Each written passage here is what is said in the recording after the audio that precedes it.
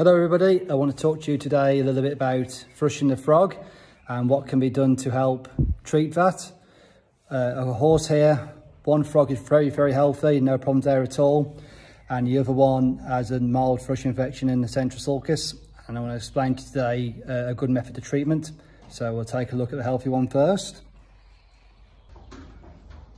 Okay, so here's the healthy frog. Nice strong central sulcus in there, everything's looking pretty good nice and broad and wide. Everything looking pretty good there. And we come around to the opposite side. And we have quite a, a split in the centre there. It moves quite a bit.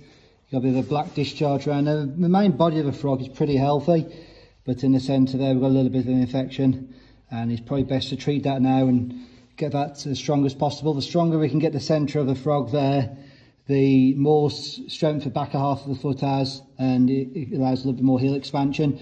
When this sort, starts to split here, the heel start to contract inwards a little bit um, and I'll show you now what I'll be using to treat that. So here we have a product called Hoof Stuff. Uh, it looks a little bit like a Sudocrem cotton wool combination almost if you describe it as anything. And I'll be packing out the central sulcus of the infected frog. We take a little bit out and roll it into, into a sausage like that, that side of shape. And we pick the foot out and apply it into a central sulcus as follows. Okay, so taking the Hoof stuff that's all rolled up, take that out into the central sulcus and start to work our way into that split. There, keep massaging in into the area there. It does stick to it quite well. Working way right in the crack there, right up the heel. And it'll stay in place and become part of the body of the frog. It is where it's a real advantage using this type of solution as opposed to one we have to spray in. It gets worn out quite quickly in the fields or any sort of powder solution is okay if you're staying in the stables, but if this horse is living out at the moment and this is a spin, keep working in because that split goes deeper than you think. And but the further you can work it in, the more it'll lock into that that split there.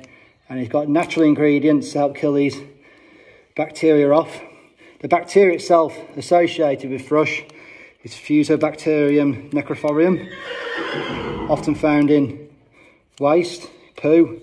Um, there is an association between soil types as well and, and thrush infection, particularly the alkaline soils bring about a more noticeable uh, bacterial infection in the frog and the white line.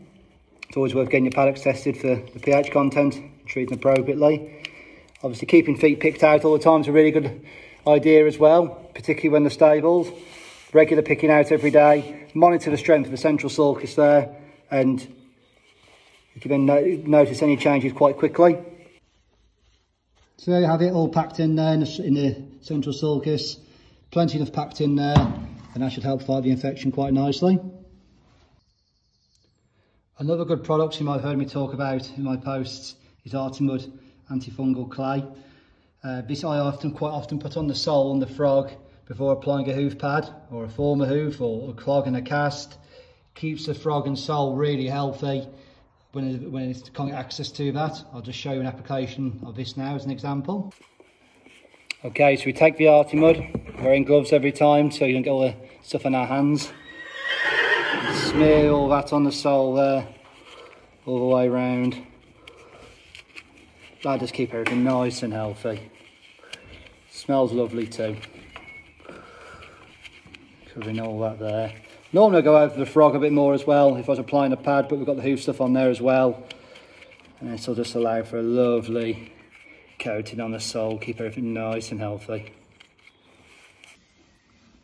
So there we have it on the sole there Nice bit of coating. And just a little side note to say I don't always just work on problem feet. Sometimes have fairly normal ones to work on as well. It's quite a pleasure to work on these. Thanks for listening and give, feel free to give this video a share if anybody might find it useful. Thank you.